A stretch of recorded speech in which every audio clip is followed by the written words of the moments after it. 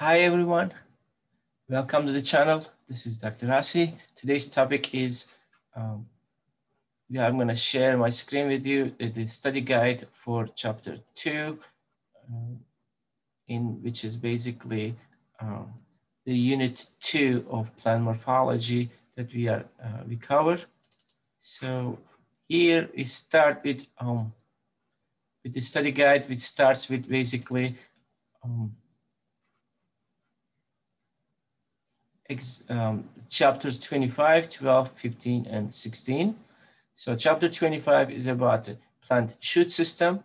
So we know that plant shoot system is uh, starts with the shoot apical meristem, produces um, that's the leaf primordia, um, and then um, everything actually programmed there, and then a whole shoot systems develops, right? So in the, what is in the shoot system, we have leaf, stem, uh, we might have flower, um, fruits, seeds, and anything above ground in the shoot system, right? So a shoot, um, the important part of the shoot is stem. It could be um, woody or herbaceous. So woody is thick, more like trees and shrubs. Herbaceous is more soft tissue, like annual plants, right? So we know that. Um, so make sure that you cover the uh, anatomy and also two major classes that we learn, monocotyledons versus dicotyledons in angiosperms, uh, and then how their anatomy uh, changes, and also stem types, monocot versus dicot versus um, like uh, gymnosperms, um, how their stem anatomy is different than each other. Um, then um, the second part is there is the leaf.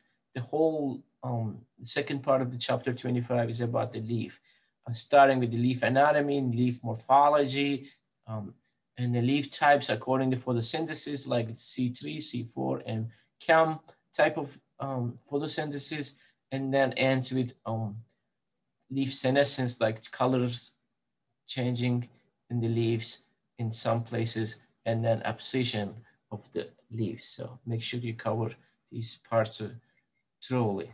Um, chapter 12 is the next chapter, which is uh, basically systematics. Systematics is very important. We have more than 1.7 million species.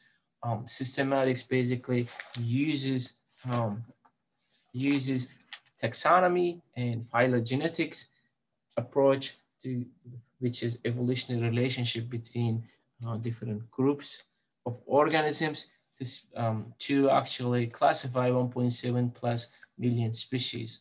There are newer techniques that use like cytochrome C, could be used as a, um, in evolutionary studies. Um, there are some important points like um, the whole uh, systematics uh, we know is actually started with Carl Linnaeus and in his two books that he published, uh, basically Systema Naturae in 1735 and um, Species Plantarum in 1753. Um, now, then he's considered uh, the father of systematics. Now, this chapter also talks about taxons, which is basically anything, any part here you see in a typical cladogram, which is a taxon.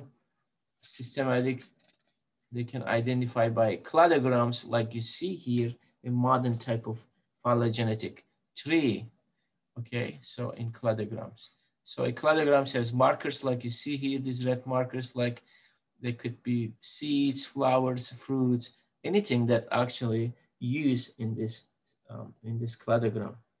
Okay.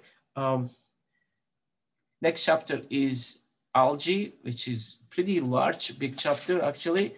Uh, algae is a very wide uh, spread topic, which uh, we divided in actually two uh, two groups, macro and micro. Macro is like the large algae, like green algae, brown algae, red algae, and micro like dinoflagellates, diatoms, euglenoids, which also we all most of them is uh, phytoplanktons that they provides more than 50% of maybe the oxygen to our atmosphere. So they are so, so important. Remember algae is a kingdom protista. So it's, uh, it's not planta, it's protista, but green algae specifically linked to the plants. So that makes them very, very important for plant biology. And studying algae is phycology or algology, which is study of algae. in general. Okay, in um, green algae, chlorophyll a, uh, is specifically important for us, as I mentioned. Um, there are many edible green algae, also, also some other algae uh, as a food. Algae also important as a food additive, animal food, human food, pharmaceuticals, nutraceutical, biofuel, cosmetics, uh, proteins, and cancer therapies. So it's um, very commonly used.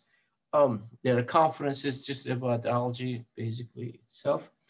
Um, um, there are there is one algae, one uh, single cell algae called Chlamydomonas, which is unicellular green algae that makes it a good model system. Has two large flagellates um, and contractile vacuoles, pyrenoids, chloroplasts, so and starch.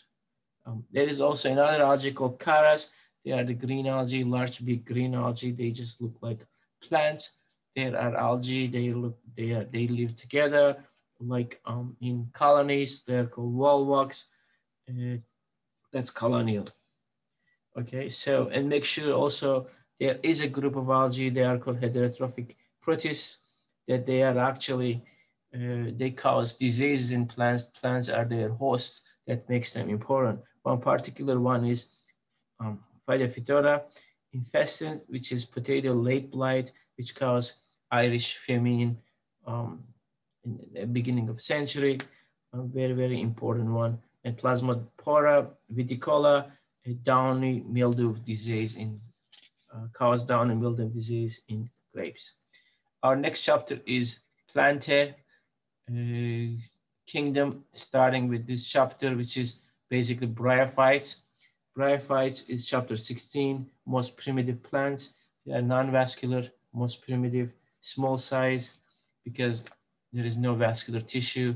They require water, no true root, stem, leaf, just thallus, thallus and rhizoids.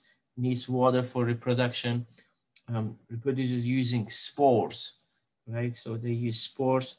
Um, dominant dominant gen, um, generation is gametophyte, commonly found in more moist environments and um, also in rocks and soils and tree barks, again, moist environments. So bryophytes have three divisions, liverworts, hornworts, and uh, mosses. Mosses are most well-known one. A typical moss structure you see here. Uh, gametophyte is the lower part, sporophyte is the top part with the capsule and stalk, and rhizoids like root-like structures at the bottom. Uh, liverworts are uh, they are Marchantiophyta. They, they are leafy or uh, thallus, and then um, they have capsules. Um, they have gametophyte again, um, dominant. Hornworts, they have horn-like projectors uh, that that splitting and then releasing the spores. And mosses, most well-known uh, division or phylum here, which is leafy growth. Um, again, have capsule opens up um, and releases the spores. Gametophyte, have Archegonia, Antheridia, female, male, hydroids and leptoids. There is no real um, xylem and phloem, but there is something called hydroids and leptoids, like look like water conducting and food conducting type of tissue. And they have one unique thing, which is a, they're asexual. They use gemma cells like gemmas um, in reproduction and sexual production, they use sperms, but they must have water to carry them and then um, they must they must have water available. So that's it for the review. Um, thank you for watching and good luck with the with the test.